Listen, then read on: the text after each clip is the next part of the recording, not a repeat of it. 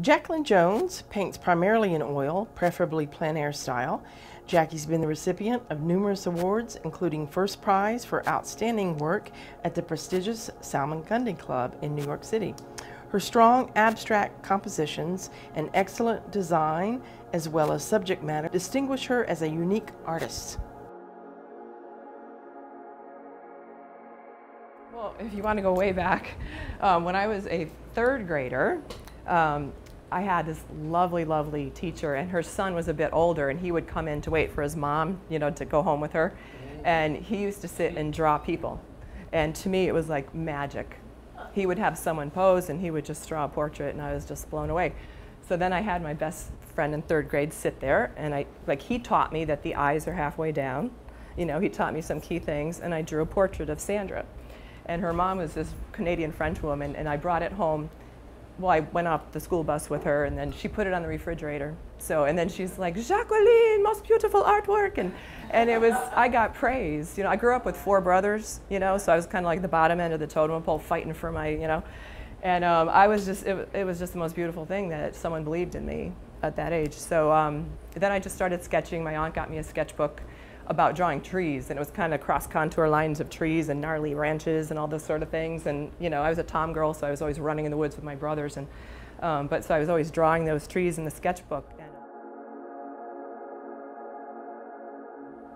my mom knew that I was terrible in math. So she's like, okay, you're going to be an art teacher, you're going to go to UConn. Um, but I was very shy, and I'm like, there's no way that's happening. Um, so she enrolled me in a private private painting class with Joseph Gianfrido. Um, he was a student of the second Guy Wiggins and James Goodwin McManus, and he was he had psoriasis in his hands. This older man, all hunched over, and uh, he took me in. He had mostly adults, and um, three hours on Saturdays and he taught me how to use vine charcoal and like measure, you know, a vase. And he says, you pass the test, you're in. Um, but basically, I co copied Walt, Walter T. Foster books. So um, yeah. so it was basically copying paintings for three years until he passed away in 1978. Um, first funeral I ever went to, I was devastated. um, and then I just continued to paint in my room. Um, and then in high school, was voted most artistic senior, and my cousin was also voted that.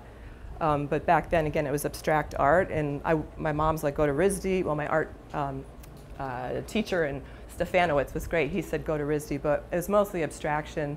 So um, I decided to go the commercial end. Everyone says you're not going to make money as a fine artist. I sold out and I went to a two-year school. Um, when I was 17, I went to the Art Institute of, of Fort Lauderdale, minored in illustration. Um, and but still, to get money to scuba dive, I sold paintings on the side. So I continued to paint, um, and then I was in graphics for about maybe 14 years.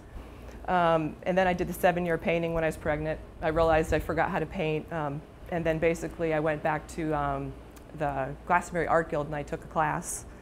And from then on, BAMO, you know, really 9/11. How old were you then? When was that? Oh well, gosh, I I was in my 40s, you know. Yeah. Oh no, I actually went to Lyme Academy College when I was 40. I enrolled back. I wanted the BFA, and it took me seven years to get through. Yep. Um, so I did, I did do that, but I did what I, I wanted to do when I was 17, but I kind of felt like I sold out. I remember being really unhappy, and you know.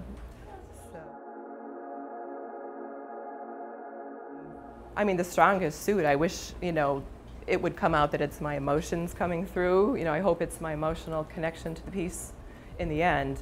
But in the long run, it's always form over content. Doesn't matter what I'm painting as long as it's got solid design, design like, you know, you talked about the Fibonacci code and all that. Um, I used to draw the diagonal and find the spot. Now I tell my students it's the tic-tac-toe board, you know.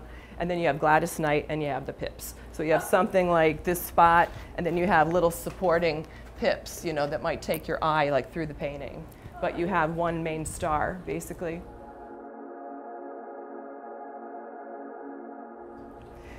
yeah, it means a lot to me. If, there are times when, I mean, you know, if I do like city scenes, like plein air or something, I like things kind of cropped in tight, so it's like a stronger painting than zoomed way out, and it's like, you know, I like things more intimate and tight. And then sometimes I'm like, dope, the frame rabbet's going to come over too close to the edge, and I know I kind of, you know, didn't do the right decision at the time, but um, I used to sketch before every painting like a little thumbnail, and now I just like, I take a photograph because I use the photograph to touch up on it later. I'm not like a plein air purist. And of course, we're not talking about a studio painting like this, Right. but plein air. Um, so I'm not a plein air purist. Well, I might do like 75 to 95 plein air, and then I'll touch it up after. Um, but I basically take the camera and I can see in the camera where I'm cropping and what I'm doing, and I have a mental image in my head, and that's what I go on. I know where the sweet spot is, and where the horizon line is usually what it, what tells it all is where is the horizon line. That's my first, Right, yeah. you know.